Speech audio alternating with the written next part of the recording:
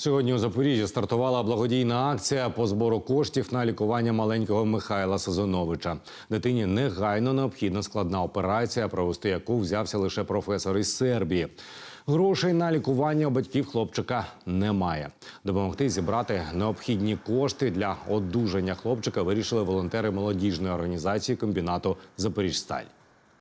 Ребенку нужна операция. Операция стоит 400 тысяч гривен. Очень нужна наша помощь. Мы э, собираем ему денежку на операцию, чтобы сохранить ему жизнь.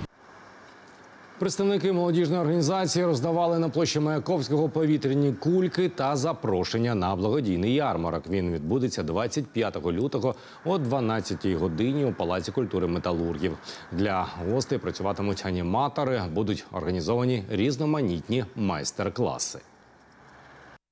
Мы с ребятами, с друзьями, с коллегами решили под- поддержать ребенка. У него уже 13 марта куплены биле- билеты в Сербию на лечение.